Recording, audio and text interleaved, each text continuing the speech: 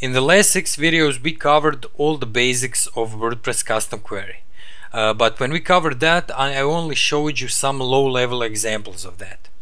So in these videos and in this video and in the future, I don't know, maybe two or three videos, we are going to be doing some real-world practical examples of WordPress custom query.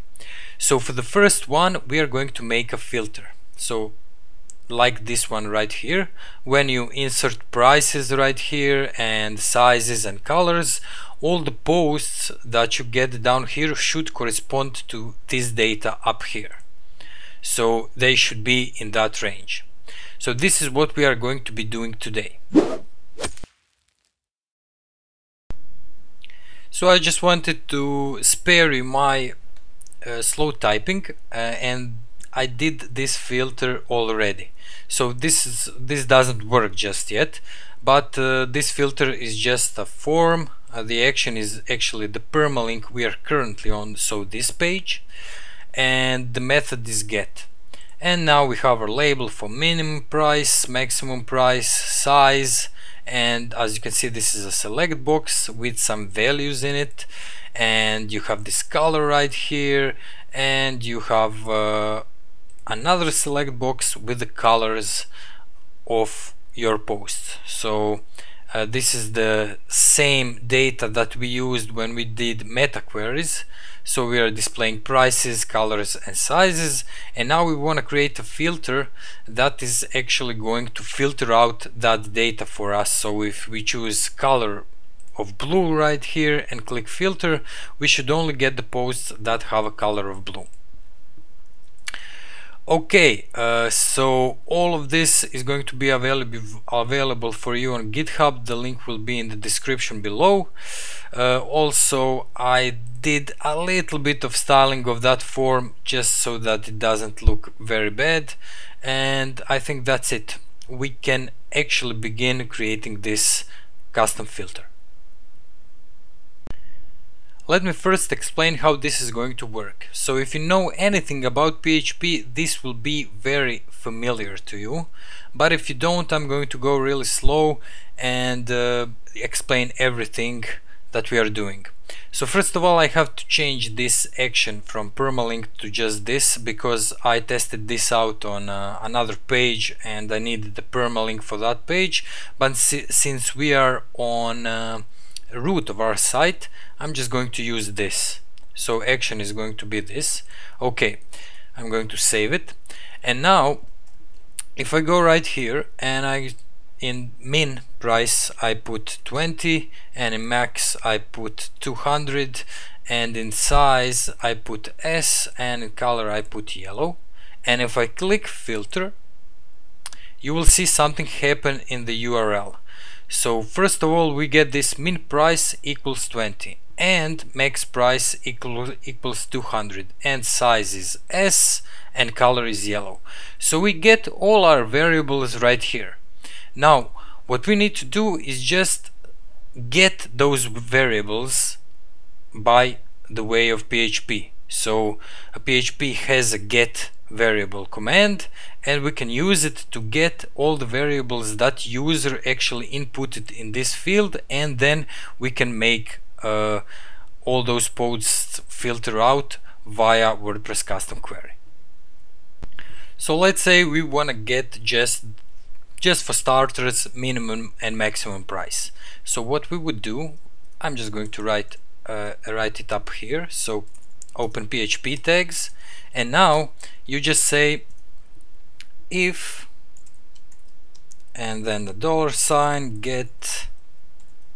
And just one thing I didn't explain as you can see all of these inputs have names. So min price max price. And they correspond to these URLs right here. So actually these arguments in the URL so min price max price size and color uh, as you can see select has a name of size and this select has a name of color. So this is how we get those variables.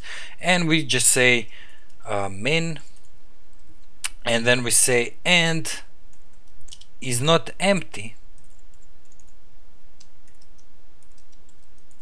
Get min again. Okay we open up those curly braces. So what we are saying right here if in the URL we have this min attribute and we have actually not min but uh, let me just see min price I'm sorry. So min price and min price. If we have this min price attribute in the uh, our URL then set variable we'll just call it min price again min price then set that variable to the value of this get. So for this example right here it will be 20 so I'm just going to write get and min price. And that's it. So now we are just saying if this isn't empty and if we have it if something is written in it just set this variable min price to be this value right here. So in this case 20 and we can I can even show you that if I just do echo echo min price. Save it. And as you can see right here it says 20 okay. So I'm just going to delete this one and copy this out and we do the same thing for max price. So we do max price.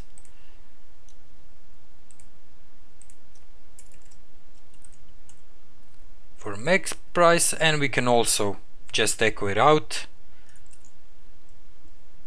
Echo max price and now as you can see we get 200 right here because we have 200 right here also. So now we have those two variables. So what can we do with them?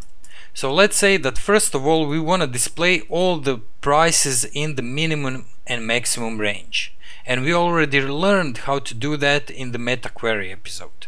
So to do that I'm just going to go down here and set up our arguments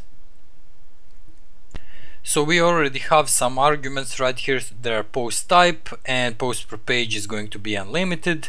And now we have to do meta query. Meta query. And that meta query is going to be an array. Of course.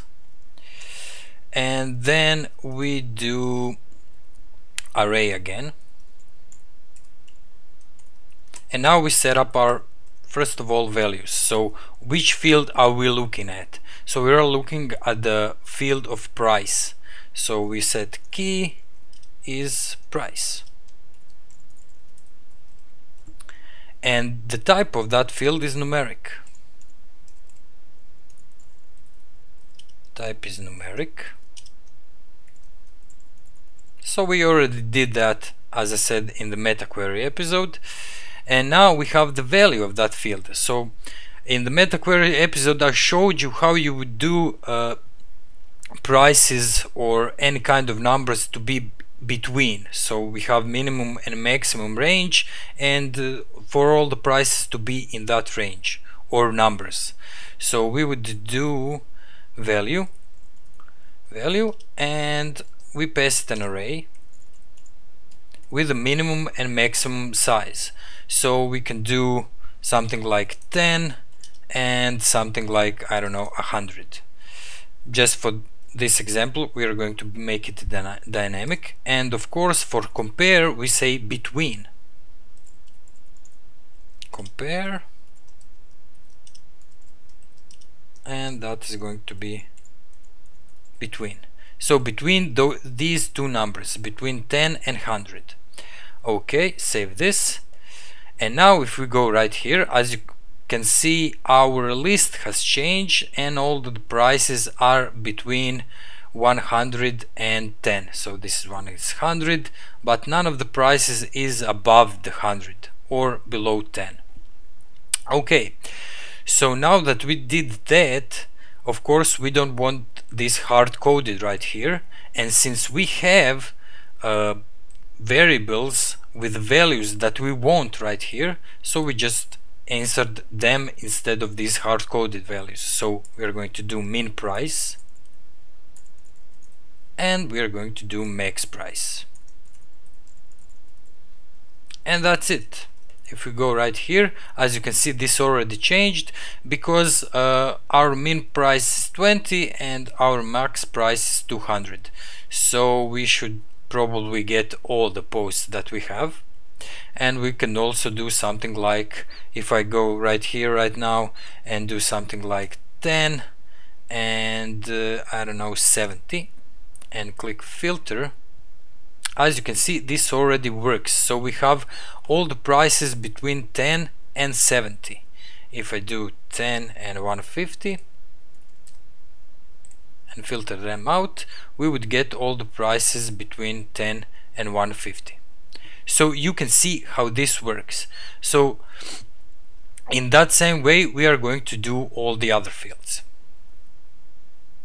First of all, let's just set up our variables real quick. So I'm just going to copy this and uh, just change the names of the variables. So first one is size, okay, and the second one is color.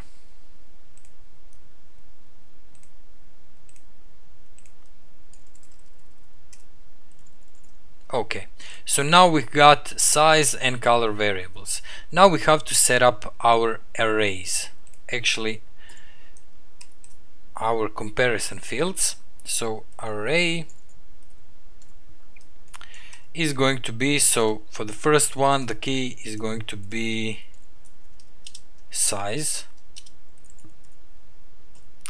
And we are not going to set up a type because this is going to be a character field and character field is set up by default so we are going straight to value value is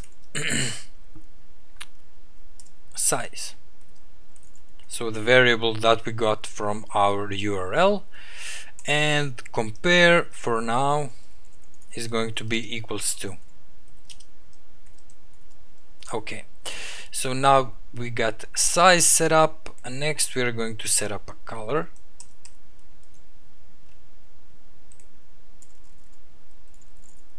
Color and the variable is color. Okay save this go to our page and as you can see we get nothing.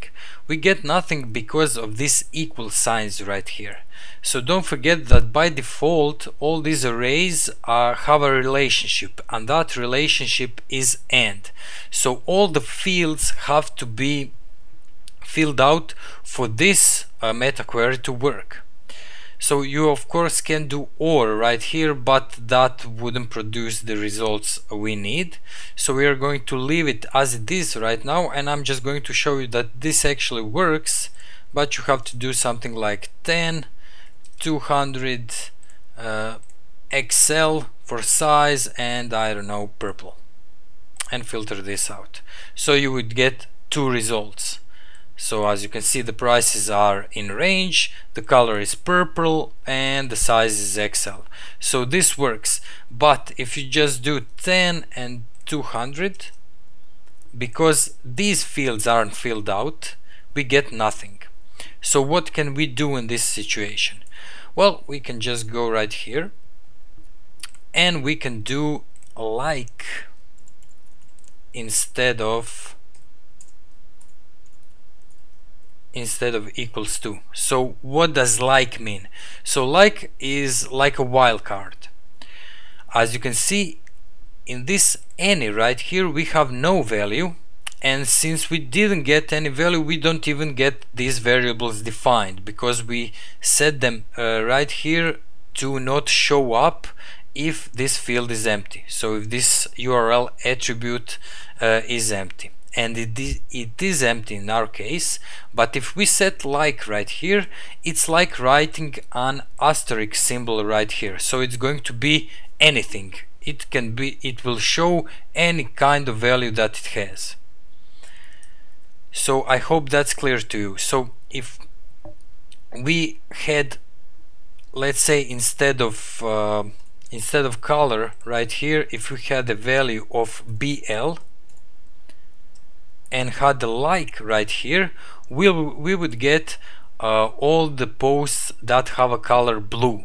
Because you can look at this like written like this. So BL and anything after BL but as I said since we got nothing right here then we get only this asterisk symbol. And we get every kind of value that we have. Only the price uh, will be in between the ranges. So if I save this and go to our page right now as you can see we have uh, we have all the posts actually written out. But if I do something like 10 and 70 this still works. And we get only the prices that are between the ranges of 10 and 70 so I hope you understand how this works so we dealt with that problem. But there's another problem that we have right here and that is if I just want to show all the posts that have a color of blue and if I do this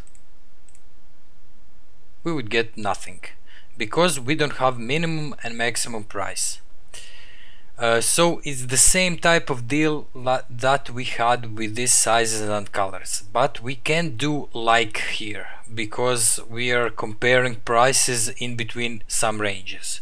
So what we can do we can just go up here and say so if this isn't set up so we don't get anything